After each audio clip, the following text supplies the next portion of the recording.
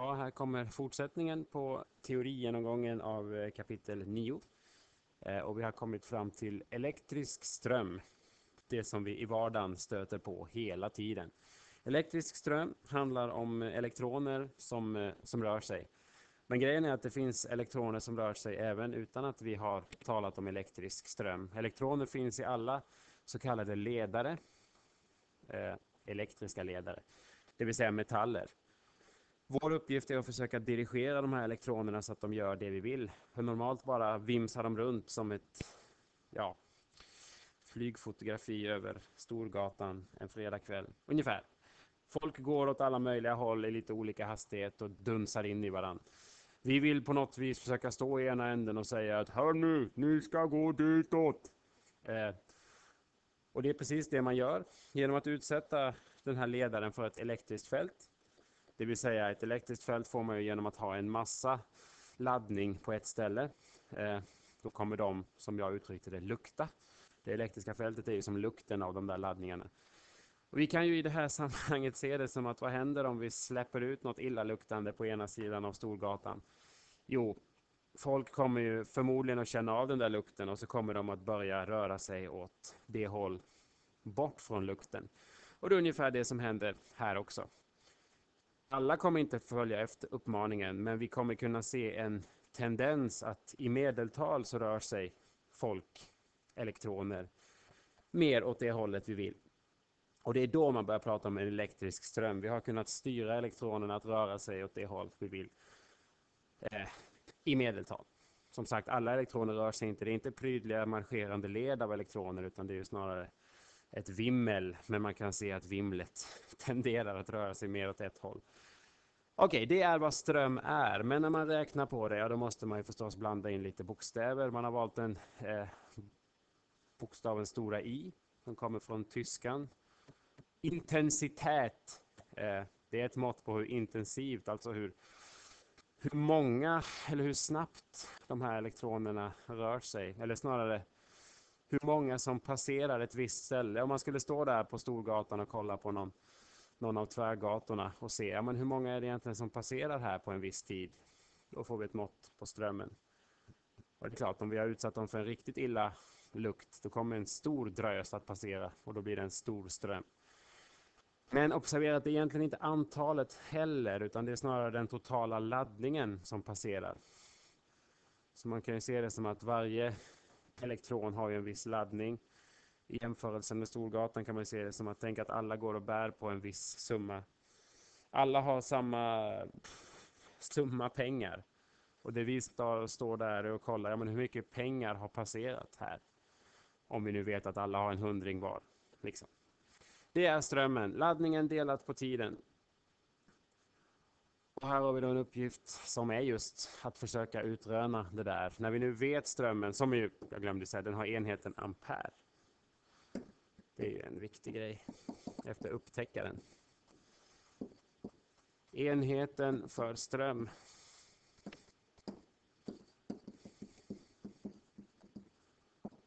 är ampere. Som då skrivs som A.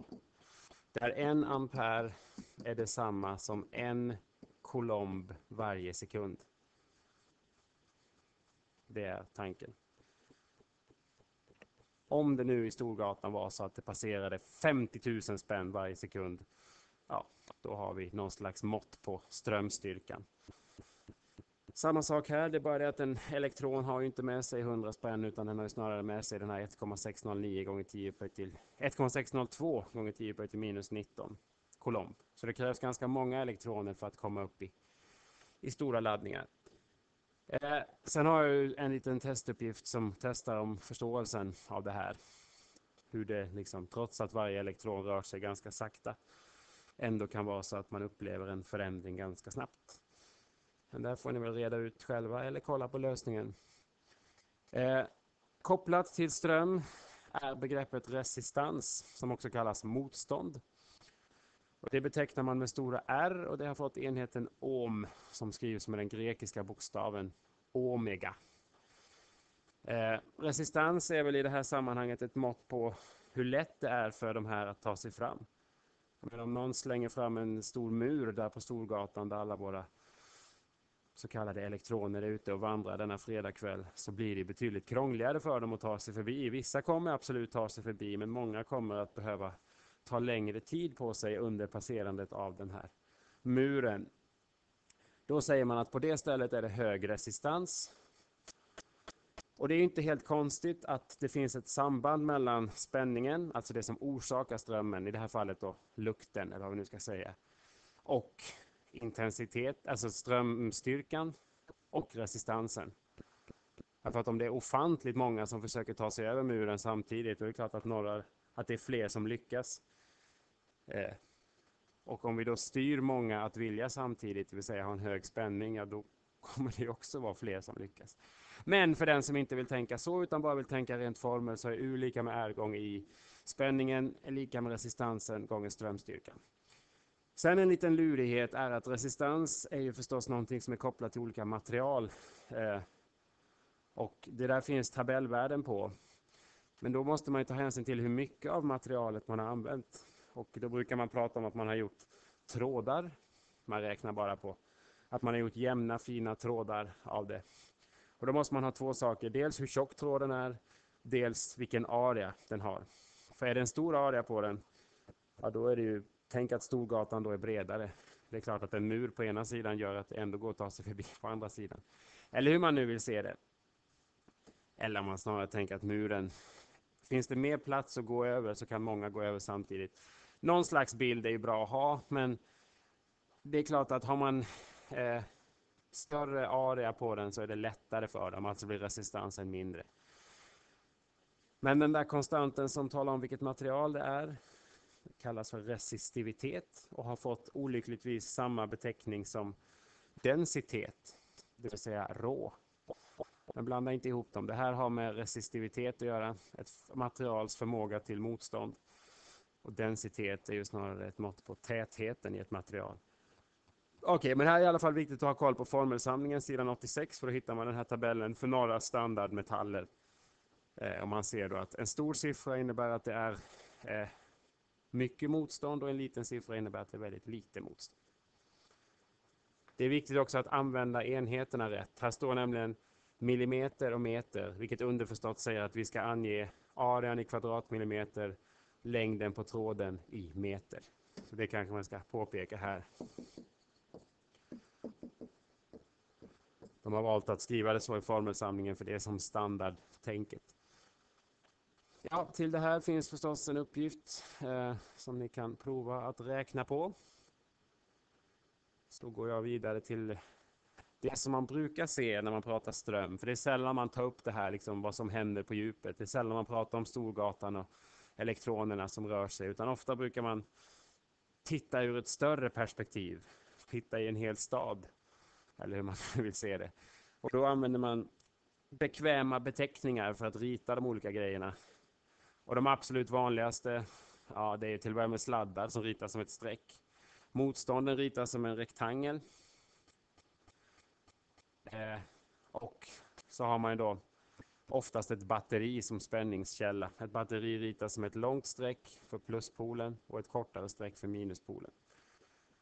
Och det måste jag ju säga också, känner jag, att strömriktning, elektronerna de rör sig, elektronerna är minusladdade Elektronerna vill bort från minus, vilket innebär att elektronerna vill ju från minus till plus. De vill till tryggheten vid plus, där det helt enkelt finns plats för dem att vara. Eh, men ändå har man valt att definiera, och det borde jag ha sagt redan här, jag tar det nu. Eh, strömstyrka. Elektronerna rör sig från minus till plus. Ja, kan man skriva sådär? Skriver minus istället. Men strömmen räknas från plus till minus. Men nu gör jag det igen. Jag Är helt snurrig i bollen? Varför man har gjort så, ja, det är ju på grund av missförst historiska missförstånd. Eh, så man får helt enkelt leva med det. Att vi pratar alltid om ström från plus till minus, men elektronerna går åt andra hållet.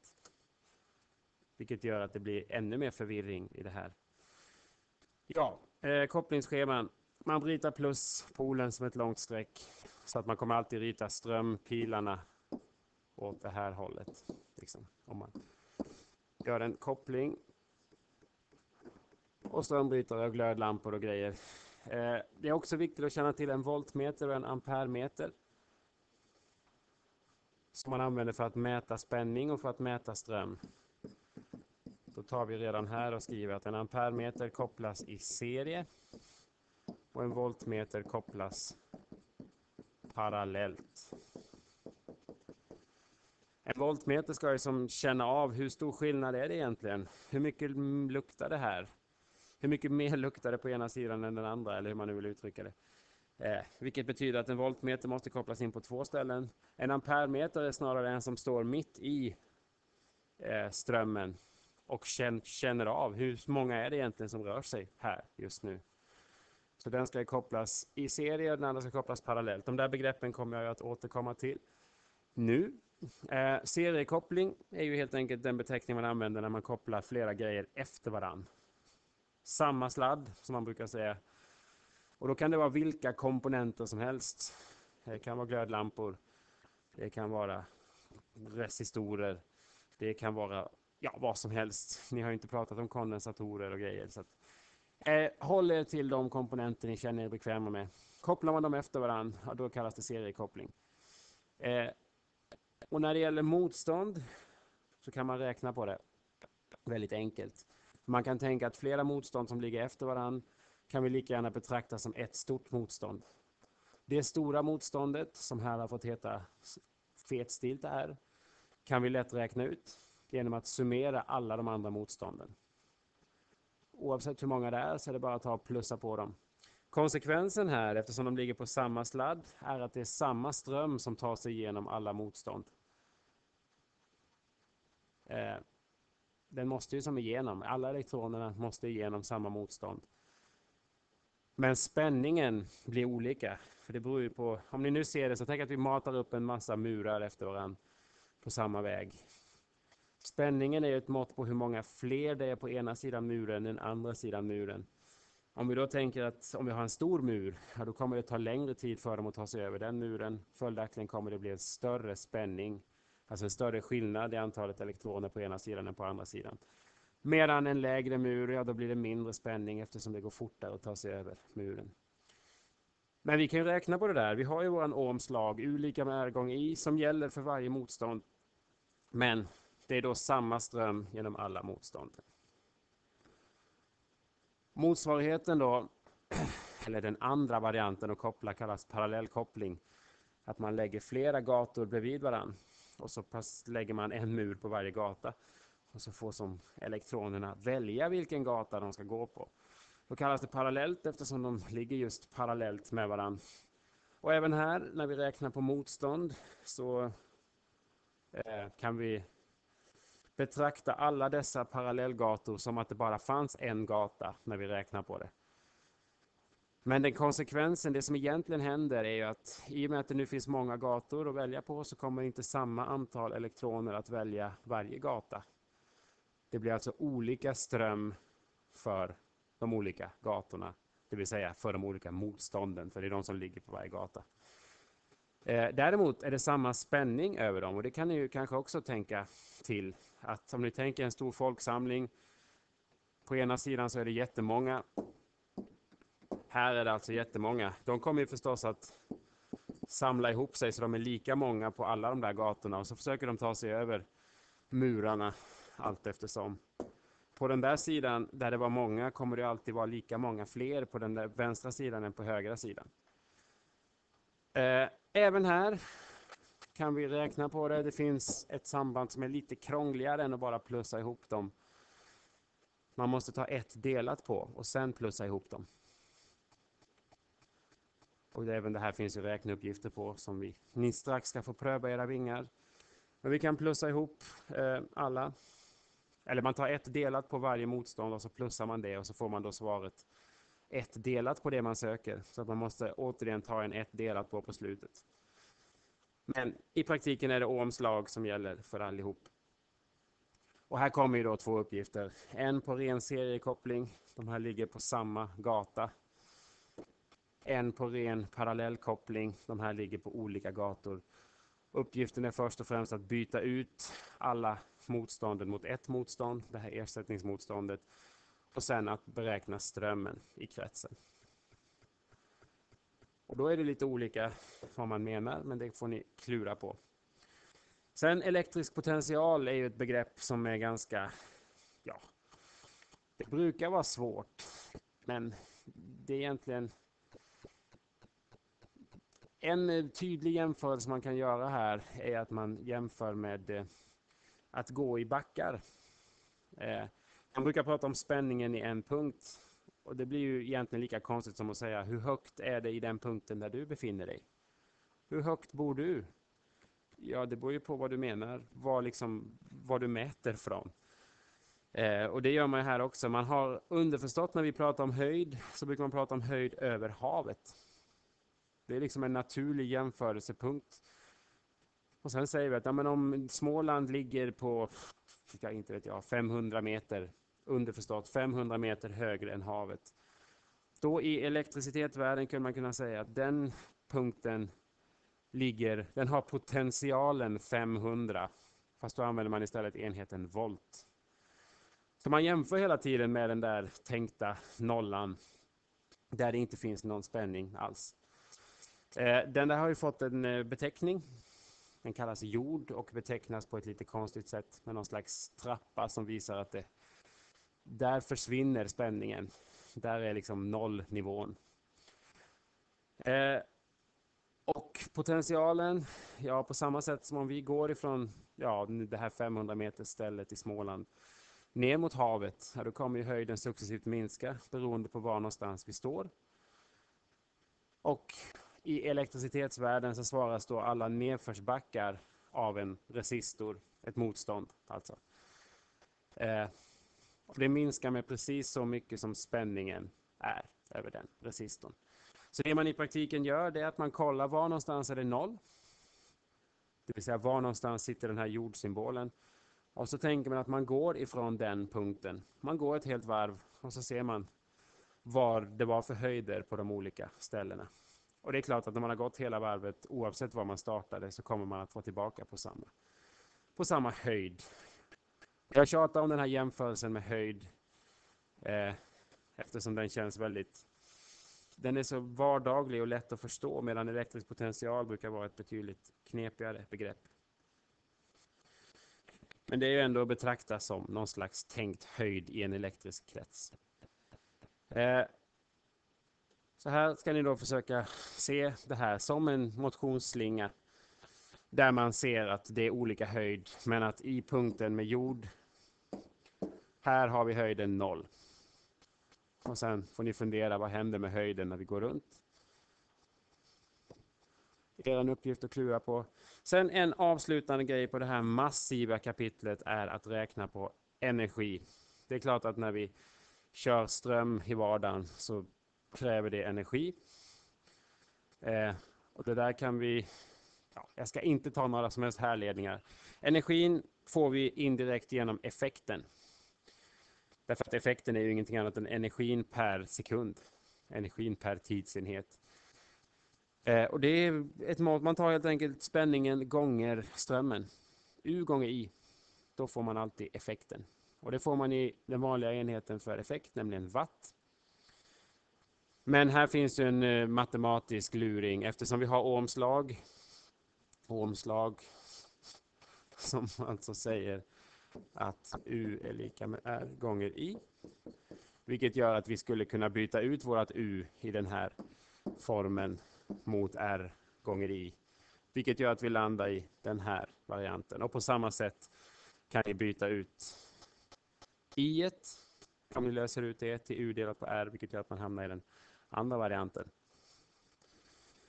Eh, det blir i praktiken en formel som man använder Kontentan är att det blir alltså i praktiken tre formler som är samma formel fast man skriver om dem på lite olika sätt. En annan vardagskopplad grej är att man brukar i energi och elsammanhang prata om så kallad kilowattimme, vilket kan tyckas vara en krånglig energienhet. Men om man använder konverteringsenheten så kan man lika gärna använda den vanliga energienheten joule. En kilowattimme är i så fall 3,6 gånger 10 upphöjt till 6 joule.